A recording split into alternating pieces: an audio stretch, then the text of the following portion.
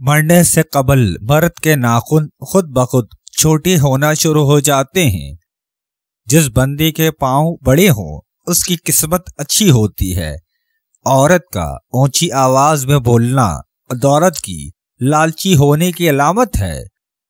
बुरा काम करते वक्त बिस्मिल्लाह का पढ़ना हराम है। हराम कमाई वाला गोश्त जन्नत में कभी दाखिल नहीं होगा।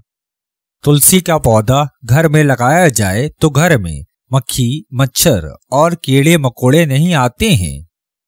सजदे के दौरान आँखें बंद कर लेने से नमाज़ टूट जाती है। पपीते का बीज सांप की जहर को भी खत्म कर देता है। बरगद का दरख्त घर में लगाने से घर में गुर्बत नहीं आती है। ऊँट वो वाहिद जानवर है जिसको हैज़ आता है। कॉफ़ी सुअर की पेशाब से बनाई जाती है। वज़ू के बाद पानी पी लेने से बंदा कभी बीमार नहीं होता है।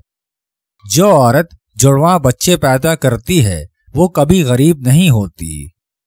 रोटी खाने के फ़ौरन बाद छींक आ जाना जल्द दौलत मिलने की अलामत है। छींक आते आते रुक जाना मेहमानों की आने की अलामत है।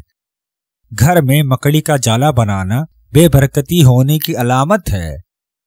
घर में बिल्ली का चोहे का खाना, घर में गुर्बत के जाने की निशानी है। ख्वाब में खूबसूरत औरत देखना जल्द दौलत आने की अलामत है। भूरे रंग वाली आँखों वाला बंदा कभी गरीब नहीं होता है।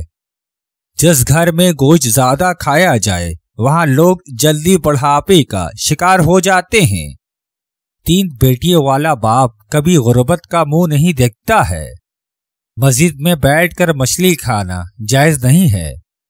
अपने हाथ के नाखून खाने से कैंसर की बीमारी होती है।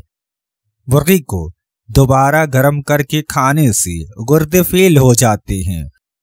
पलीद औरत के साथ जमा करने से बच्चा माजूर पैदा होता है। घर में सियाह रंग की खरगोश के बाल रखने से 80 साल तक घर पर काला जादू असर नहीं करता। पीले रंग की बिल्ली आम बिल्लियों से ज़्यादा शैतान होती है। चाय को दोबारा गर्म करके पीने से बेहतर है कि बंदा जहर ही खा ले।